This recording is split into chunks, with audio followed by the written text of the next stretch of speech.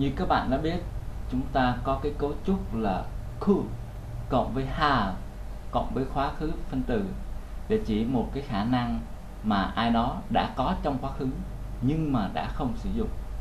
Và bạn chú ý là ở đây người ta chỉ có ở dạng khẳng định. À, chứ à, nó không có ở cái dạng phủ định như là couldn't ví dụ I could have played the piano well but I didn't practice enough tôi đã có thể chơi piano giỏi nhưng mà tôi đã không thực hành đủ.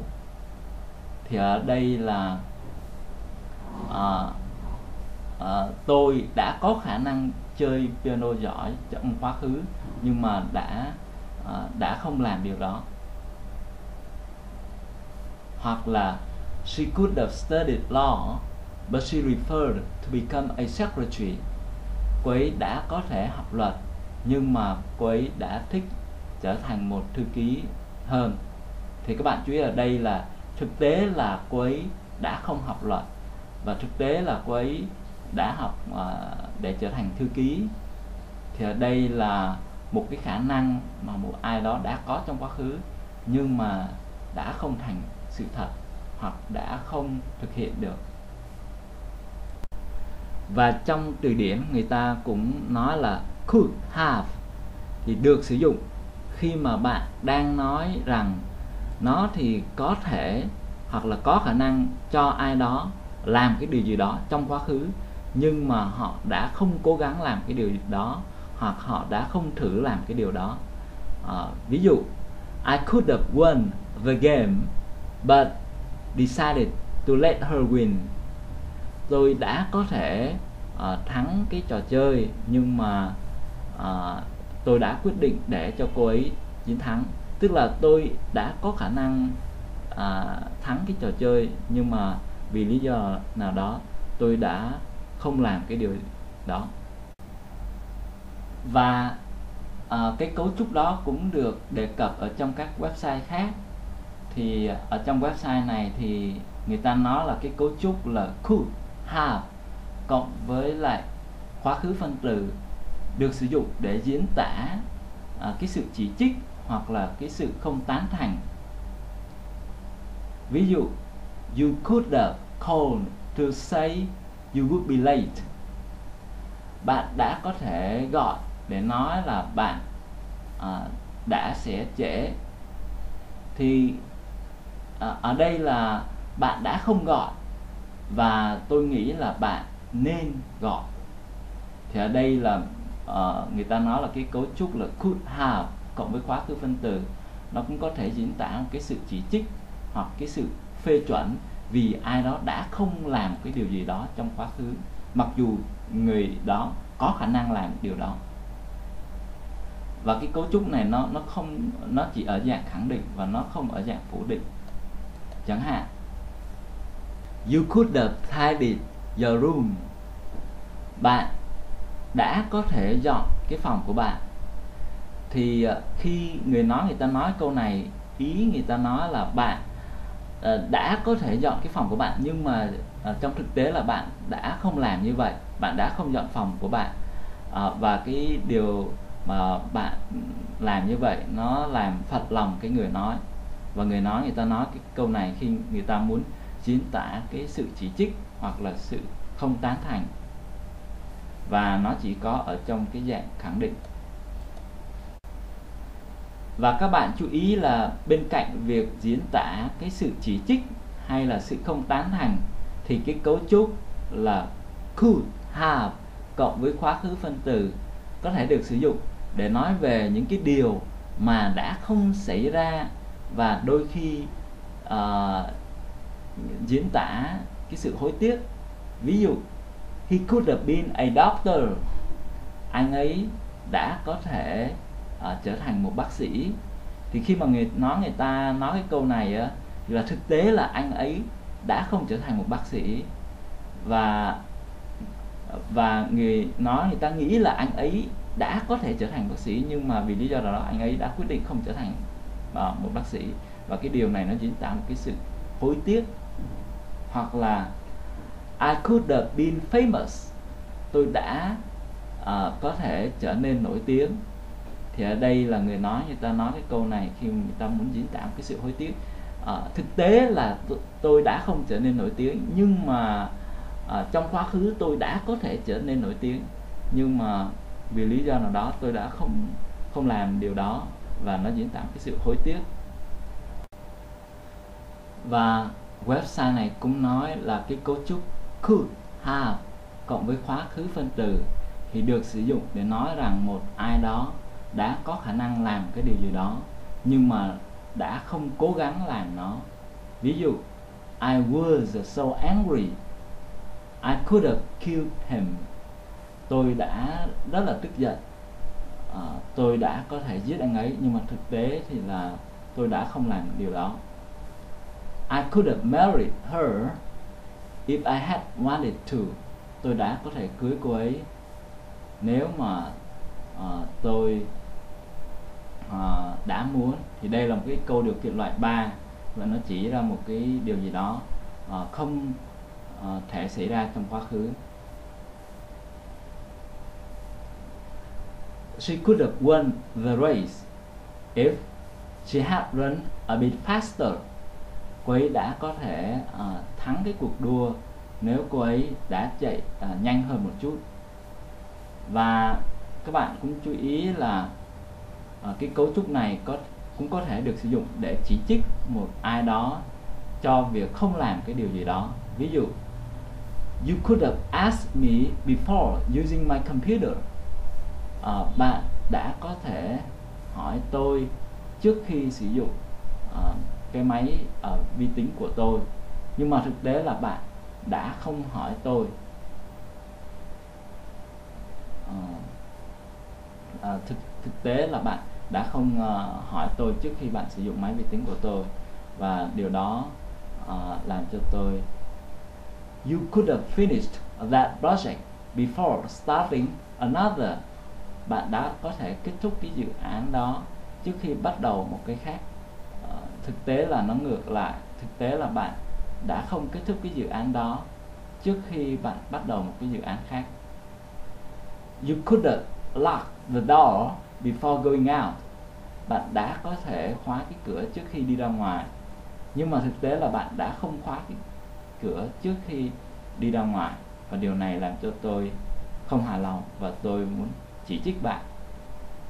He could consult his doctor before taking that drug anh ấy đã có thể cố vấn bác sĩ của anh ấy trước khi uh, dùng cái thuốc đó. Nhưng mà thực tế là anh ấy đã không cố vấn cái bác sĩ của anh ấy trước khi dùng cái thuốc đó. Thì điều này mình nói câu này để mình chỉ trích uh, một ai đó uh, cho cái việc không làm cái điều gì đó. Và các bạn cũng chú ý là nó cũng rất dễ để mình uh, hiểu sai hai cái cấu trúc sau. À, cái cấu trúc đầu tiên là ở dạng à, khẳng định could have cộng với quá khứ phân từ. Nó có nghĩa là một cái điều gì đó đã có khả năng được làm trong quá khứ hay là bạn đã có khả năng để làm cái điều gì đó trong quá khứ nhưng mà bạn đã không làm nó. À, ví dụ như là I could have stayed up late but I decided to go to bed early. Tôi đã có thể uh, thức khuya nhưng mà tôi đã quyết định đi ngủ sớm. Tức là mình đã có thể làm cái điều gì đó nhưng mà mình đã quyết định không làm nó. Hoặc là he could have studied harder but he was too lazy and that's why he failed the exam. Anh ấy đã có thể là học chăm hơn nhưng mà anh ấy đã quá lười và đó là lý do mà anh ấy đã rớt kỳ kiểm tra. Tức là anh ấy đã có khả năng là học chăm hơn nhưng mà anh ấy quyết định là không học chăm hơn bởi vì anh ấy là đã là quá lười và do đó là anh ấy đã rớt uh, cái uh, kỳ kiểm tra. Uh, tuy nhiên bạn chú ý là uh, mình chỉ có cái nghĩa này khi mà could ở đây nó ở nghĩa khẳng định uh, nó trong cái câu khẳng định uh, còn trong cái câu phủ định nó có nghĩa hoàn toàn khác à, trong cái câu phủ định thì là mình có cái cấu trúc là couldn't have cộng với khóa khứ phân từ và nó có nghĩa là cái điều gì đó đã không có thể được làm trong quá khứ cho dù bạn đã muốn làm nó. Thậm chí là bạn đã muốn làm nó nhưng mà bạn đã không có khả năng làm được điều đó trong quá khứ. Ví dụ I couldn't have arrived any earlier. There was a terrible traffic jam tôi đã không thể đến sớm hơn. À, đã có một cái à, nạn kẹt xe khủng khiếp. Thì nó có nghĩa là tôi không có khả năng đến sớm hơn bởi vì là đã có nạn kẹt xe và đây là mình đã không có thể làm được cái điều gì đó bởi vì uh, là vì lý do nào đó cho dù mình đã muốn làm cái điều đó. Hoặc là à, ví dụ sau he couldn't uh, pass the exam even if he has studied harder. It's really really difficult exam. Anh ấy đã không thể đậu cái kỳ thi cho dù anh ấy đã học chăm chỉ hơn. Nó uh, đã là một cái kỳ kiểm tra rất là rất là khó. Thì ở đây là mình rất là muốn là đậu cái kỳ thi nhưng mà bởi vì là vì cái lý do là cái kỳ thi nó quá khó và do đó mình đã không thể đậu được. Và đây nó mang cái nghĩa là một cái điều gì đó đã không thể được làm trong quá khứ cho dù bạn đã muốn làm nó. Còn đó là trong cái dạng uh, phủ định. Còn trong cái dạng khẳng định thì nó có nghĩa là một điều gì đó đã có thể làm được trong quá khứ. Như các bạn đã biết thì uh, trong cái website này người ta nói là uh, chúng ta uh, có thể sử dụng could hoặc là couldn't cho những cái khả năng chung trong quá khứ. Ví dụ I could read when I was four. Tôi đã có thể đọc khi mà tôi đã 4 tuổi. Hoặc là bạn có thể tạm dịch là tôi biết đọc khi tôi 4 tuổi. Hoặc là my grandfather couldn't swim. Ông nội tôi đã không thể bơi hoặc là ông nội tôi đã không biết bơi. Và đối với những cái khả năng cụ thể thì bạn, ở dạng khẳng định bạn sẽ dùng là was able to. Và dạng phủ định bạn sẽ dùng là couldn't. Ví dụ, she was able to pass the exam even though she hadn't studied much. Cô ấy đã có thể đậu cái kỳ kiểm tra cho dù cô ấy đã không học nhiều và bạn à, người ta nói là bạn không thể được dùng là could ở đây mà bạn phải dùng là was able to. Tuy nhiên bạn sẽ nói là I couldn't open the window. Tôi đã không thể mở uh, được cái cửa sổ. Thì đây là một cái khả năng cụ thể và uh, trong quá khứ và nó ở dạng phủ định và bạn sẽ dùng couldn't. Uh, tuy nhiên bạn sẽ hỏi là Ờ, mình có thể dùng ờ, ờ, uh, wasn't able to uh, cho cái dạng uh, phủ định uh, cho cái uh, khả năng cụ thể trong quá khứ không?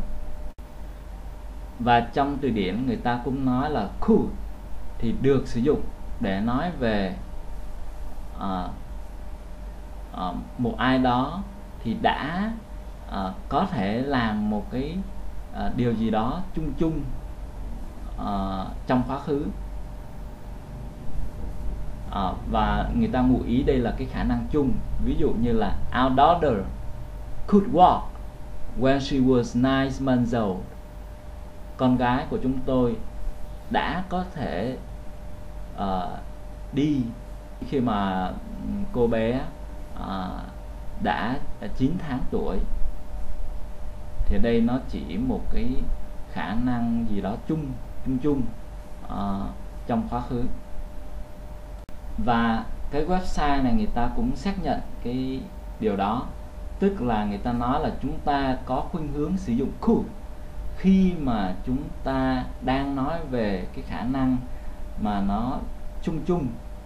À, ví dụ by the time she was seven she could already speak three languages.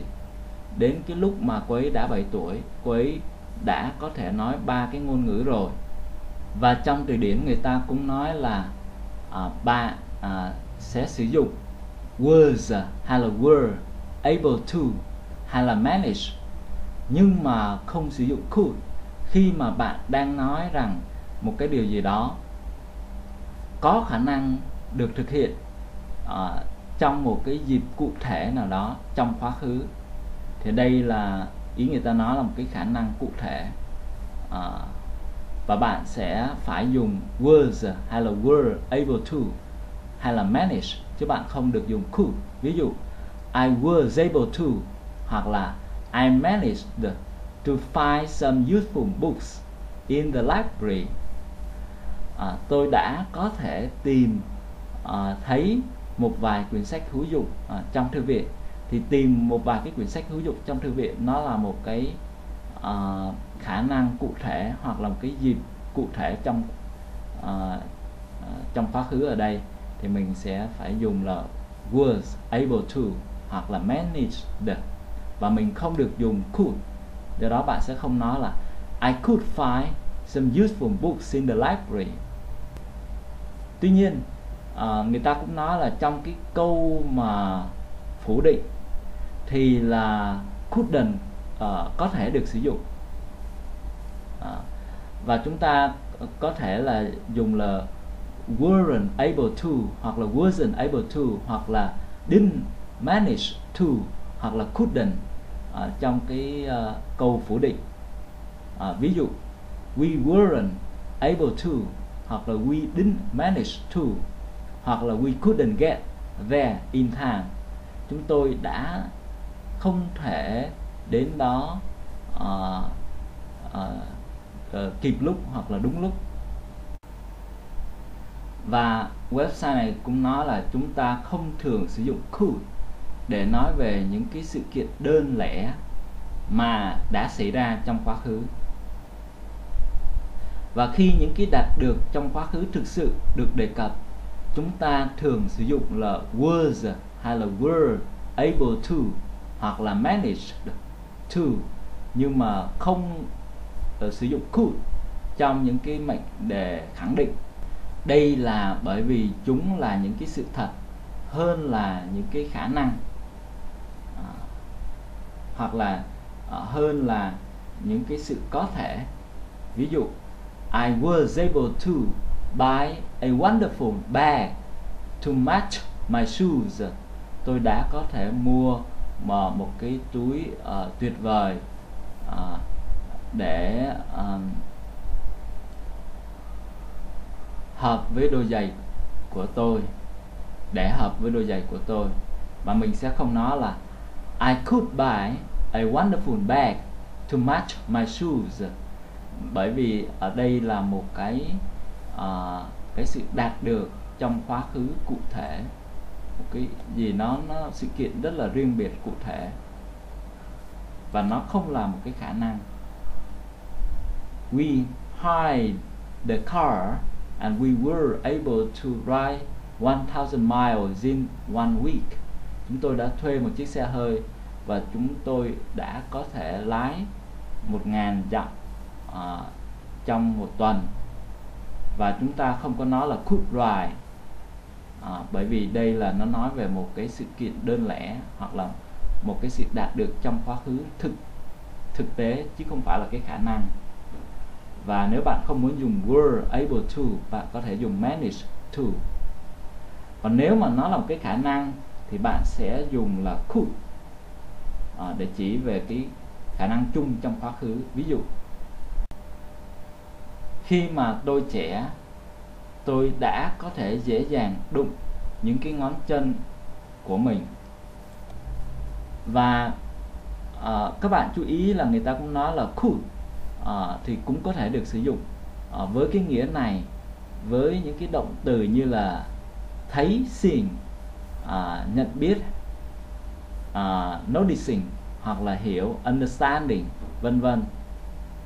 À, ví dụ như là I could see it. there was something wrong. Tôi đã có thể thấy là có cái điều gì đó sai. Thì ở, ở đây uh, ngoại trừ những cái động từ này á, thì là mình có thể dùng could trong cái dạng khẳng định. À, còn còn còn trong những trường hợp khác thì mình sẽ phải dùng là was à, hay là were able to hoặc là manage chứ mình không được dùng could. Tuy nhiên mình có thể dùng could à, khi mà những cái động từ nó là see uh, notice hoặc là understand uh, vân vân. Và cái website này cũng xác nhận là chúng ta có thể sử dụng could để tham chiếu đến những cái sự kiện đơn lẻ mà đã xảy ra trong quá khứ với những cái động từ của những cái xúc cảm như là smell ngửi taste. Nếm có vị uh, see thấy hear nghe touch đụng vân vân. Và những cái động từ của những cái tiến trình suy nghĩ như là think uh, nghĩ hoặc là believe tin remember nhớ understand hiểu ví dụ the food was terrible thức ăn thì đã khủng khiếp. I could taste nothing but salt. Tôi đã có thể uh, nếm không có vị gì cả ngoại trừ muối. We knew they were in there. Chúng tôi đã biết họ đã ở trong đó. We could hear voices inside. Chúng tôi đã có thể nghe những cái giọng bên trong đó he came and spoke to me but I couldn't remember his name. Anh ấy đã đến và nói với tôi nhưng mà tôi đã không nhớ tên của anh ấy. Và bạn sẽ tự hỏi là tại sao người ta nói là chúng ta uh, có thể dùng was hay là were able to hay là manage. Và tại sao manage và was able to trong trường hợp này nó tương đương với nhau? Và bạn chú ý là động từ manage uh, ờ, nó có nghĩa là thành công trong việc làm cái điều gì đó đặc biệt làm cái điều gì đó khó khăn. Và nó có cái cấu trúc là manage to do something. Uh, we managed to get to the airport in time. Uh, bạn có thể tạm dịch là chúng tôi uh, đã thành công trong việc uh, đến sân bay à, đúng lúc hay là à, kịp lúc?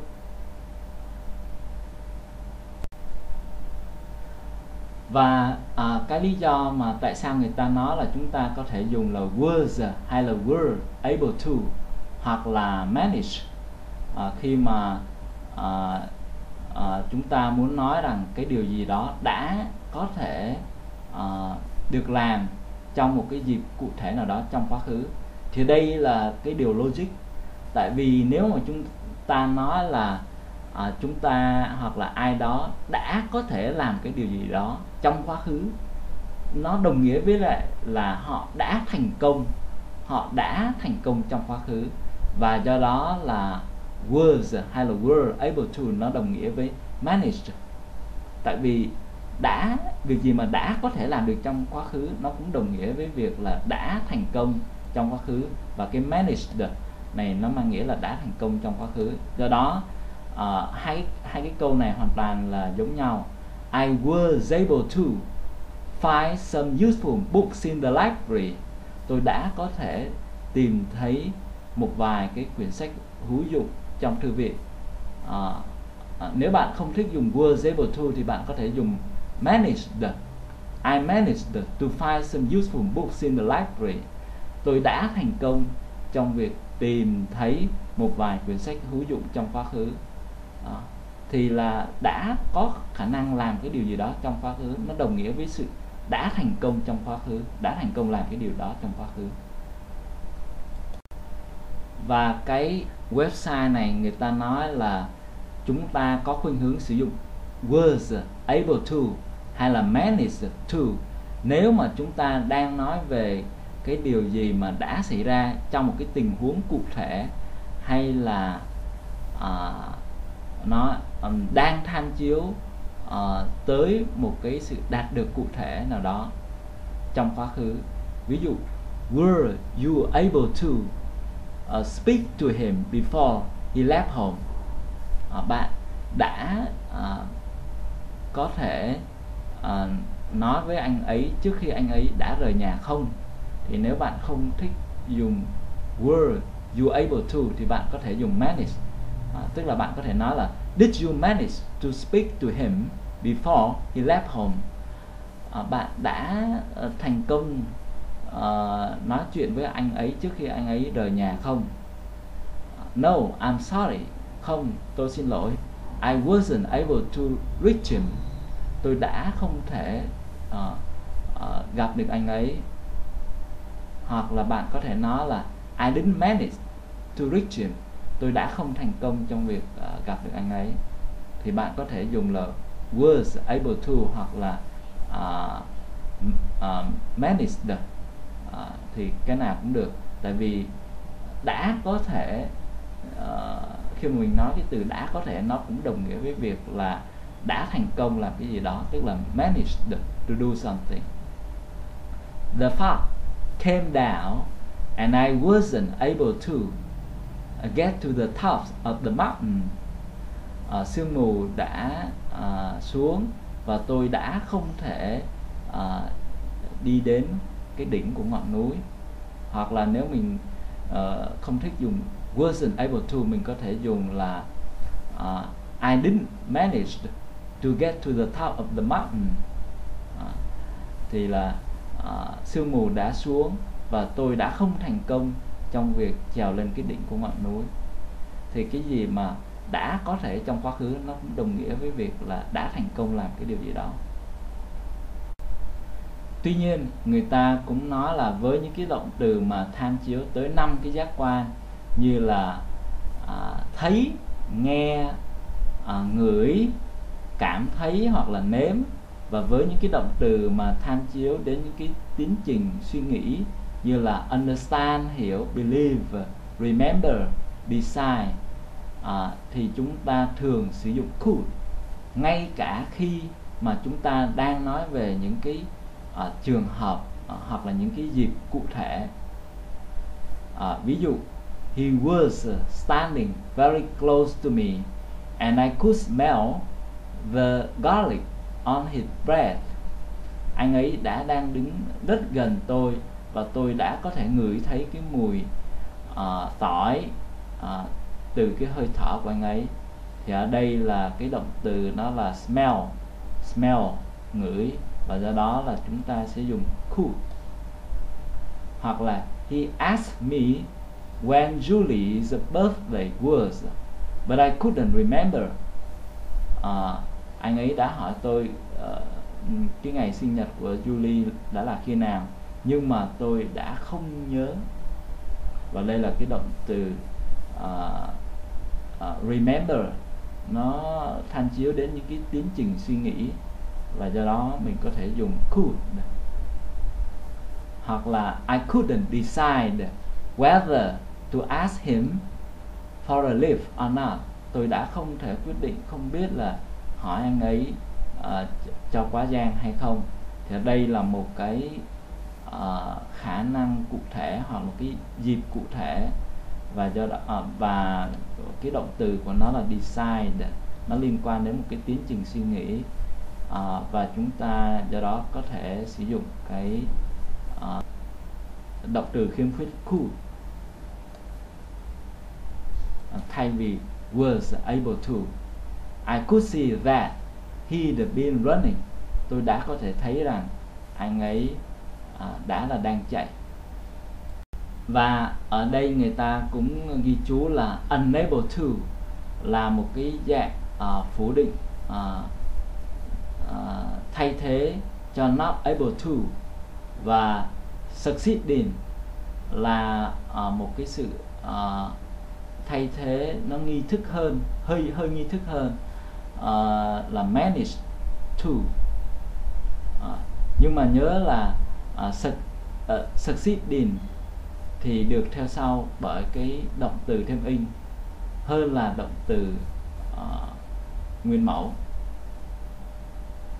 À, ví dụ we were unable to leave the room until the locksmith arrived and su succeeded in unlocking the door chúng tôi đã không thể rời căn phòng cho đến khi thợ khóa đã đến và đã thành công trong việc uh, mở khóa cửa I wasn't able to complete the report as several pieces of information were missing. Tôi đã không thể hoàn tất được cái báo cáo khi mà nhiều miếng của thông tin uh, đã là đang mất. Tổng kết. Điều thứ nhất là khi bạn đang nói rằng uh, nó thì đã có khả năng cho một ai đó làm một cái điều gì đó trong quá khứ nhưng mà họ đã không cố gắng hoặc là họ đã không thử thì bạn uh, sẽ phải dùng cái cấu trúc là could cộng với have cộng với quá khứ phân từ. Và cái cấu trúc này nó chỉ có ở dạng khẳng định ví dụ I could have played the piano well but I didn't practice enough. Tôi đã có thể chơi uh, đàn piano giỏi nhưng mà tôi đã không thực hành đủ. Thì trong quá khứ mình đã có khả năng làm được cái điều này nhưng mà mình vì lý do nào đó mình đã không cố gắng làm nó. I could have won the game but I decided to let her win. Tôi đã có thể thắng cái trò chơi nhưng mà tôi đã quyết định để cho cô ấy thắng. Thì đây là trong quá khứ mình đã có khả năng thắng cái trò chơi nhưng mà vì lý do nào đó mình đã quyết định không làm điều đó. Và mình đã quyết định để cho uh, cô ấy thắng. Và bạn cũng chú ý là chúng ta thường sử dụng cái cấu trúc could have cộng với khóa khứ phân từ này, ở dạng khẳng định này. Khi mà chúng ta muốn diễn tả cái sự không tán thành, hay là cái sự chỉ trích, hay là cái sự hối tiếc, chẳng hạn như là, you could have called to say you would be late. Bạn đã có thể gọi điện để nói là bạn đã sẽ trễ. Nhưng mà bạn đã không gọi và tôi nghĩ bạn nên gọi. Thì ở đây nó diễn tả cái ờ, ý gì đó, nó mang nghĩa chỉ trích hoặc là sự không tán thành. He could have been a doctor. Anh ấy đã có thể trở thành một bác sĩ. Tuy nhiên trong thực tế thì anh ấy đã không trở thành một bác sĩ. Và khi mình nói cái câu này ra, mình muốn diễn tả một cái sự hối tiếc nào đó. Cái điều thứ hai khi bạn muốn diễn tả một cái điều gì đó mà đã không thể được làm trong quá khứ, cho dù bạn đã muốn làm cái điều đó, thì khi mà bạn muốn diễn tả cái ý tưởng đó thì bạn sẽ dùng cái cấu trúc là couldn't have cộng với khóa khứ phân từ. Và cái cấu trúc này nó chỉ có ở dạng phủ định, chẳng hạn. He couldn't have passed the exam even if he has studied harder, it's a really really difficult exam. Anh ấy đã không thể đậu cái kỳ thi. Ngay cả khi anh ấy đã học chăm chỉ hơn, nó đã thực sự là một cái kỳ kiểm tra khó. Thì ở đây là trong khoa cử anh ấy đã rất là muốn đậu cái kỳ kiểm tra, nhưng mà bởi vì là cái bài kiểm tra, cái kỳ kiểm tra nó quá khó, và do đó anh ấy đã không thể đậu được cái kỳ kiểm tra như vậy. Ngay cả khi mà anh ấy đã học chăm chỉ hơn, thì à, để diễn tả cái ý này, bạn phải dùng cấu trúc là couldn't have cộng với khóa khứ phân từ và nó chỉ có ở dạng phủ định. Điều thứ ba, khi bạn muốn diễn tả Ờ, một cái khả năng chung chung nào đó trong quá khứ hay nói về uh, một ai đó thì uh, có thể làm cái điều gì đó chung chung trong quá khứ thì bạn sẽ dùng uh, could cho cái câu khẳng định và couldn't cho cái câu phủ định. Ví dụ I could read when I was four tôi đã có thể đọc khi mà tôi 4 tuổi hoặc là tôi biết đọc khi tôi 4 tuổi. She could speak French when she was a child but now she has forgotten it. Cô ấy đã biết nói tiếng Pháp khi cô ấy là một đứa trẻ nhưng mà bây giờ cô ấy đã quên nó. Thì đây nó diễn tả một cái khả năng chung chung nào đó. Uh, khả năng chung. He couldn't dance at all until he took lessons. Anh ấy đã không biết nhảy một chút nào cả cho đến khi anh ấy đã à, học uh, một số cái bài học nhảy. My grandfather couldn't swim. Ông nội của tôi đã không biết bơi. Điều thứ tư, khi bạn muốn diễn tả một cái khả năng cụ thể nào đó trong quá khứ, hay là một cái tình huống, hay là một cái dịp cụ thể nào đó trong quá khứ, hay là một cái sự đạt được cụ thể nào đó trong quá khứ, thì đối với những cái động từ của xúc cảm như là smell, ngửi, taste, nếm, see, thấy, hear, nghe, feel uh, cảm thấy touch đụng vân vân. Và đối với những cái động từ của những cái tiến trình uh, tinh thần uh, như là think nghĩ believe tin remember nhớ understand hiểu decide quyết định vân vân thì chúng ta sẽ dùng could uh, cho cái câu khẳng định và couldn't cho cái câu phủ định. Ví dụ the food was terrible. I could taste nothing but salt.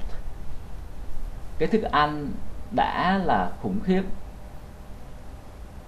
Uh, tôi đã có thể uh, nếm. Không không thấy gì cả ngoại trừ muối. He knew they were in there. We could hear voices inside.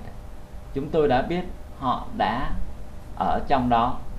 Chúng tôi đã có thể nghe những cái giọng bên trong. Ở đây mình sẽ dùng could và nó, bởi vì đây là mình đang dùng những cái động từ mà nó diễn tả xúc cảm. Here he came and spoke to me, but I couldn't remember his name anh ấy đã đến và đã nói với tôi nhưng mà tôi đã không thể nhớ cái tên của anh ấy.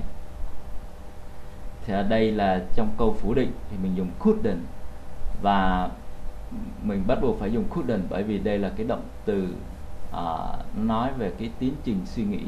Remember. Tuy nhiên cho uh, phần còn lại của những cái động từ tức là đối với những cái động từ mà nó nó không phải là những cái động từ của xúc cảm và những động từ của những cái tiến trình suy nghĩ. À, thì chúng ta sẽ phải dùng là was able to hay là managed to trong cái câu khẳng định. Ví dụ when the computer crashed yesterday I was able to fix it. Khi mà máy vi tính à, đã bị ở hư ngày hôm qua tôi đã có thể sửa nó và bạn sẽ không dùng could. À, bạn sẽ không nói là I could fix it. Bởi vì đây là một cái khả năng cụ thể và cái động từ mình dùng ở đây là nó không phải là cái động từ uh, uh, thuộc về xúc xúc cảm và nó cũng không phải là cái động từ thuộc về những cái tiến trình tinh thần. Thì mình sẽ phải dùng was able to à, tuy nhiên bạn cũng có thể dùng manage to cũng được. Và đối với câu phủ định thì bạn sẽ dùng là wasn't able to hoặc là was unable to hoặc là didn't manage to hoặc là couldn't. À, chẳng hạn we weren't able to hoặc là we didn't manage to hoặc là we couldn't get về in time. Chúng tôi đã không thể đến đó kịp lúc. Thì ở đây là trong câu phủ định thì bạn có thể dùng uh, cái gì cũng được. Dùng wasn't able to cũng được hoặc là was unable to hoặc là didn't manage to hoặc là couldn't